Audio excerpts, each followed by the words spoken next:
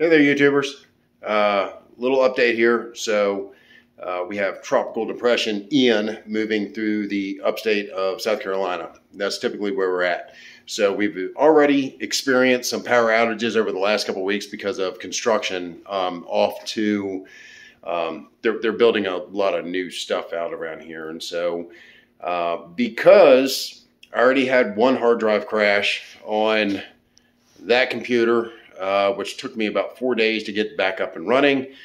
Um, here we are. It's uh, about uh, noon on Thursday, and uh, apparently there's a lot of wind, and the power has already flickered out once. Uh, I had to reset all the computers, so I am now in shutdown mode. Um, I'm going to go through. I already did a test print, cleaned the heads on the printer.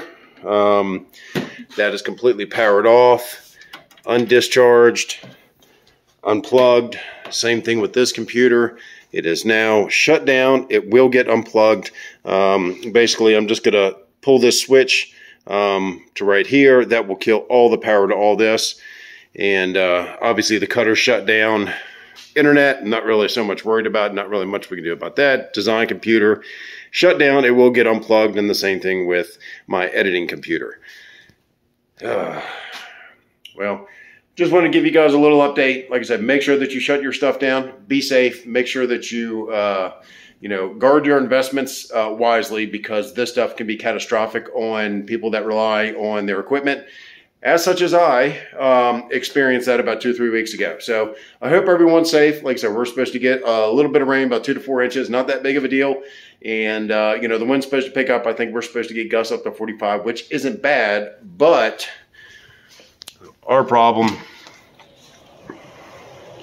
is we have a lot of trees all around us.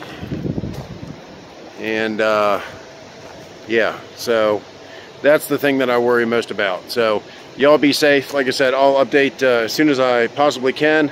Um, time to hunker down and hope for the best.